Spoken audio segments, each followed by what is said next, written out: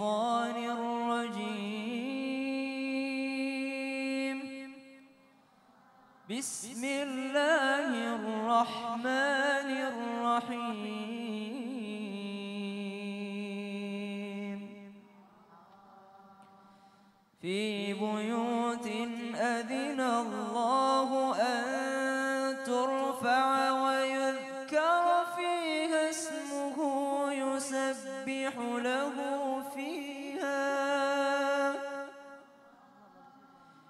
يسبح له فيها بالغدو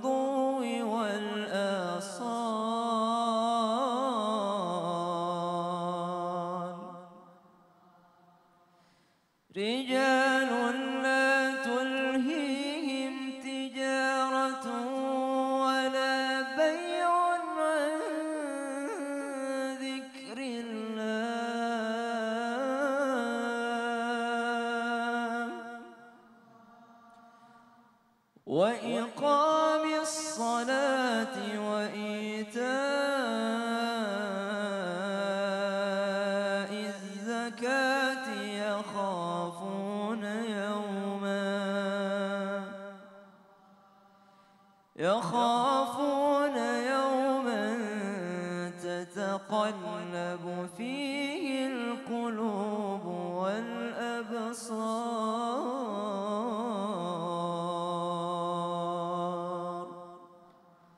صدق الله العظيم Aku berlindung kepada Allah dari godaan syaitan yang terkutuk. Dengan menyebut nama Allah yang maha pengasih lagi maha penyayang. Cahaya itu di rumah-rumah yang di sana telah diperintahkan Allah untuk memuliakan dan menyebut namanya. Di sana bertasbih, menyucikan namanya pada waktu pagi dan petang.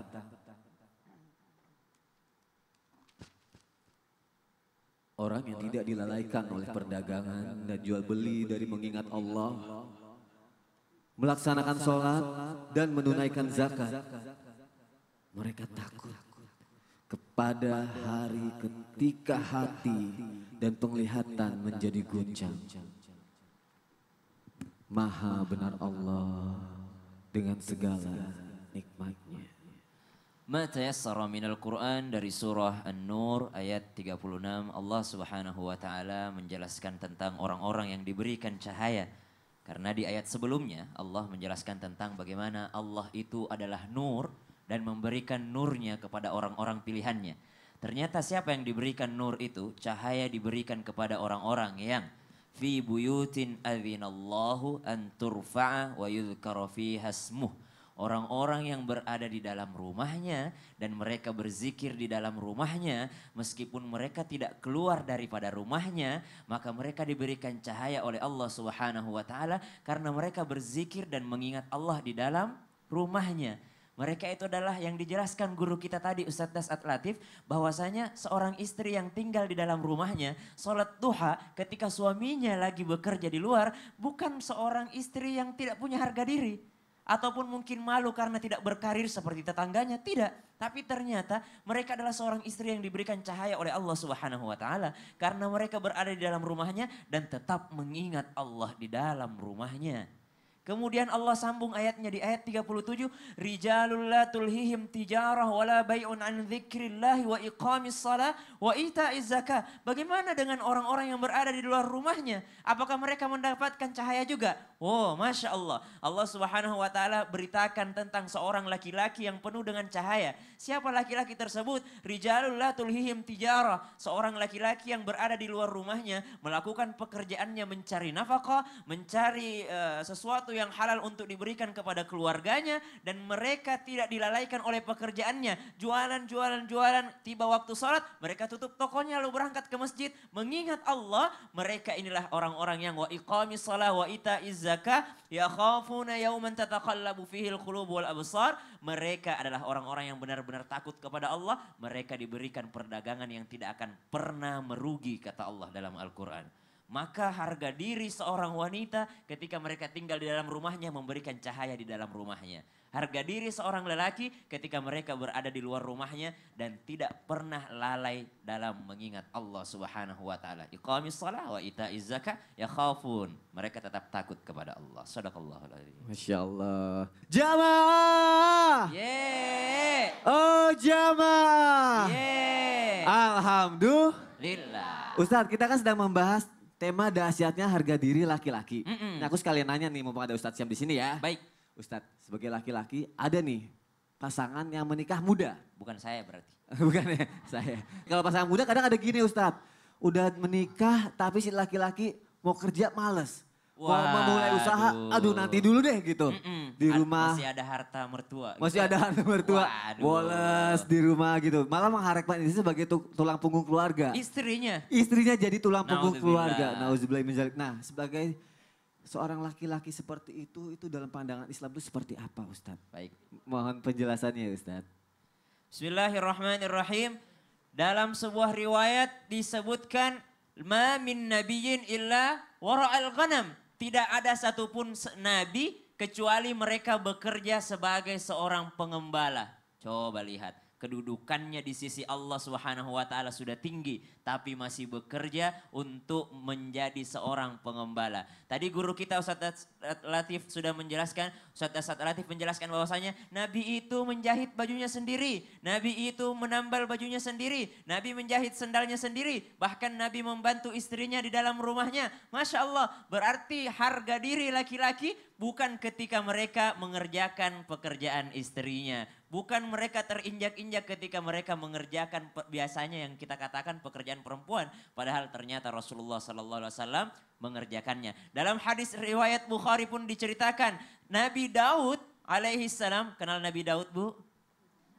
Ke- Kenalan di mana? Tahu, tahu. Tahu Nabi Daud alaihissalam. Nabi Daud itu adalah nabi yang diutus Allah Subhanahu wa taala ke Palestina menjadi seorang raja tapi juga saleh tapi juga berilmu dan nabi yang sangat lengkap. Sudahlah kaya, sudahlah punya kekuasaan, sudahlah beliau nabi, sudahlah beliau orang yang dekat dengan Allah Subhanahu wa taala, sudahlah beliau adalah orang yang tinggi kedudukannya di mata Allah Subhanahu wa taala, dijamin masuk surga. Tapi apa yang dilakukan Nabi Daud alaihissalam? Nabi Daud alaihissalam tidak pernah makan kecuali dia sudah pastikan bahwa ini adalah hasil tangannya sendiri. Padahal raja.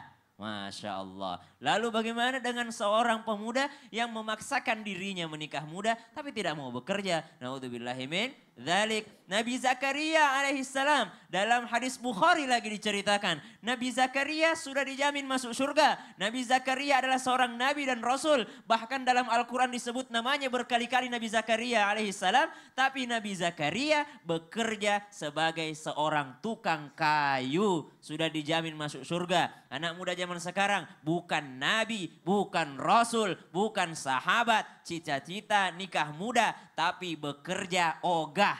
Ah, naudzubillahi min dzalik. Maka malulah kita kepada baginda Rasulullah sallallahu alaihi wasallam. Coba kita lihat contoh Sayyidina Umar bin Khattab radhiyallahu an. Sayyidina Umar ini bekerja Bahkan ketika menjadi seorang khalifah, Sayyidina Umar tidak pernah menghambur-hamburkan yang namanya anggaran. Sayyidina Umar tanya istrinya, berapa pengeluaranmu satu bulan? Kata istrinya Umar, "Eh, kurang lebih 5 juta. Ya kita anggap 5 juta lah. Kata Sayyidina Umar, sudah betul itu 5 juta, tidak ada lebihnya. Betul wahai suamiku. Baiklah, ini anggaran negara, saya kasih untuk anggaran rumah tangga 5 juta rupiah. Akhirnya berbulan-bulan, namanya perempuan pandai kalau pergi ke pasar bu, menawar, menawar, menawar. Ya enggak bu? Jadi ada sisanya, ada sisanya. Ditabung, ditabung, ditabung. Suatu ketika tabungannya ini cukup untuk beli manisan. Akhirnya istrinya Umar bin Khattab pergi beli manisan ditaruh di atas meja. Umar bin Khattab pulang ke rumahnya, dia lihat kok ada manisan di atas meja. Ditanya istrinya, wahai istriku kok ada manisan? Bukannya uang yang saya kasih itu pas banget, nggak ada sisanya. Kata istrinya, saya kalau belanja nawar jadi bisa ya ada sisanya lah 500 ribu gitu suamiku. Kata Umar bin Khattab, oh ada sisanya 500 ribu. Kalau gitu uang belanjamu sekarang mulai sekarang 4 juta 500 ribu. Dipotong 500 ribunya bu. Maka suatu ketika Umar bin Khattab ini hati-hati sekali dalam hal yang namanya masuk dalam tubuhnya uh, uang yang halal atau wara ada sifat wara dalam dirinya. Maka suatu ketika Umar bin Khattab berjalan-jalan di, di pasar, dia lihat karena hobinya belusukan, dia lihat ada anak kecil yang tidak terurus. Kata dia, wah siapa ayahnya nih? Kenapa anak ini tidak terurus? Saya tidak pernah tahan melihat rakyatku begini. Dipanggil anak itu, kenapa ayahmu tidak mengurusmu? Siapa bapakmu? Apa kata anak tersebut? Wahai ayah, engkau tidak mengenali saya? Wah anaknya sendiri ternyata tidak terurus gara-gara uang jajannya terpotong tadi. Gara-gara anggarannya dikurangi. Coba lihat bagaimana tidak maunya seorang sahabat Rasulullah SAW memakan yang mungkin syubhat bagi dirinya. Padahal halal bagi dirinya untuk memakannya. Tapi masih sangat berhati-hati. Maka dari itu kita berniat ibadah harga dirilah ketika kita memakan sesuatu yang belum tentu halal bagi kita. Apalagi ada istilah begini, Ustadz yang haram aja susah, apalagi yang halal, ah hilangkan. Ketika engkau mencari ridho Allah, Allah akan berikan kepadamu semuanya sebagaimana yang disampaikan guru-guru kita tadi. Sadaqallahul azim. Ketika kita mencari ridho Allah, Allah akan berikan semuanya Ustadz ya. Jadi nggak perlu takut ya. Siapa yang mengejar akhirat, maka dunia akan tunduk kepadanya. Masya Allah, jazakallah khair Ustaz. Sama-sama. Jamaah. Nah sekarang jamaah, ini saya mau memanggil guru-guru saya, Ustadz Maulana, juga Ustadz Dasat Latif untuk maju ke depan, mohon izin. Ustadz Maulana pasti tahu ya. deh kalau dipanggil ke depan mau ngapain, ayo. Mau menjawab pertanyaan sosial media, nah. di mana jamaah mau ikut juga Islam Tindak tapi tidak sempat, jadi bertanya Bertanya lewat sosial media. melalui media sosial, Masya Allah. Kalau gitu langsung aja kita jawab ya pertanyaannya ya. Pertama dari Nuraminah Situ, nah ya. ini di sini kita. Assalamualaikum Ustadz Ustazah mau nanya. Apa hukumnya jika istri minta uang ke suami tapi suami ngitungnya istri hutang. Aduh, padahal uang itu untuk kebutuhan rumah. Karena uang kebutuhan yang diberikan tidak cukup karena ada sesuatu hal. Gimana tuh Ustadz Dasar Latif? Ya ini kalau di kampung saya ini namanya seke. Apa seke? Pelit. Kikirikan paku jambatan. Pelit dia. Oh iya. Ya, tentu seorang suami tidaklah punya harga diri apabila memberi duit kepada istrinya lalu dinilai utang. Ada kadangkala berkata bahwa suamiku pengang, istriku pengangguran. Saya bilang orang kalau ada lelaki mengatakan istrinya tidak punya kerja itu sangat picik otaknya. Hmm.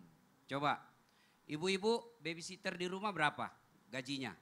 Oh, Yang ngurus-ngurus anak-anak. Berapa, berapa gajinya? Biasanya 2 juta sampai 2 juta, 2 juta, 2 juta, 2 juta. Ibu kan gratis ngurus anaknya suami, empat lagi. Nah. Tuh sudah berapa tuh? Tuh satu bulan, baru babysitter. Ah, sudah, 8 juta. Berapa gajinya cleaning service di kantor? Ah, 2 juta. Ah, ibu dibayar enggak jadi cleaning service di kantor? Ah, 8 tambah 2 juta. Sudah 20 juta itu guys, sudah oh, 10 juta gajinya. 10 juta. Tambah lagi yang nyetrika. Yeah. Nah, berapa? Ibu dibayar enggak nyetrika? Nah, itulah kalau ada suami yang berkata gitu, beritahu istri. Ibu-ibu beritahu itu suamimu. Uh -huh. Tahu enggak gaji saya satu bulan? Lebih 50 juta. Bapak bisa bayar. Uh, Langsung terdiam itu Ustaz kalau udah kayak gitu. Ya, maka semoga uh istrinya Ustaz Dasar Latif non. Nah, seorang suami tentulah tidak punya harga diri ketika dia tidak pandai memuliakan istrinya. Seorang ya? suami tidak punya harga diri ketika tidak memuliakan istrinya. Masya Allah. Hidup istri! Hidup istri! Nanti kita kasih bagiannya istri. Ya. Ustadz, Ustadz, Ustadz juga udah hatam misalnya. Kalau gitu Ustadz siap nanya, uh, jawab pertanyaan ya. Oh iya boleh, okay. boleh, boleh. Iya, Ustadz terima kasih sudah menjawab ya. ya. Pertanyaan selanjutnya dari El Sameh 18. Ah. Assalamualaikum, saya mau bertanya soal caranya menantu menghargai ortu, mertua. Padahal dia sendiri kurang mendapatkan kasih sayang dari orang tuanya sendiri. Sejak kecil ditinggal ortu perempuan dan ortu laki-lakinya tak begitu peduli. Wah Iya. gimana tuh Ustadz Maulana? Bismillahirrahmanirrahim. Kalau berbicara tentang mertua, tolong mohon maaf. Mertua itu sama dengan orang tua kita juga.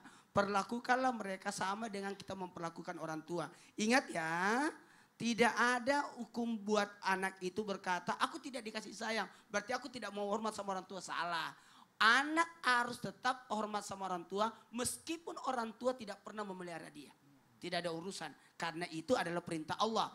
Makanya kalau mau bagus sama mertua, catatan ini. Buat catat, catat ya. Catat. Yang- Alhamdulillah saya lolos. Iya. Karena sampai istri saya meninggal saya tidak pernah bermasalah sama mertua. Wah Masya Aman. Allah. Ini Sampai patut sekarang. jadi pelajaran ya Ustadz Maulana. Apalagi anak saya saya titip sama mertua saya, aman lakun.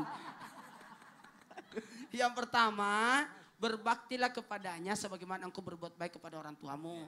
Yang kedua, tetap jalin silaturahmi. Bu, yang ketiga, tanamkan nilai-nilai agama. Bagaimana perintah agama terhadap kita, terhadap mertua kita. Dan yang keempat adalah jangan buat konflik. Nah, konflik nggak Kalau boleh ada tahu konflik. mertuamu ndak suka ini jangan lakukan. Udah tahu mertuanya ndak punya gigi, selalu bawa pisang goreng.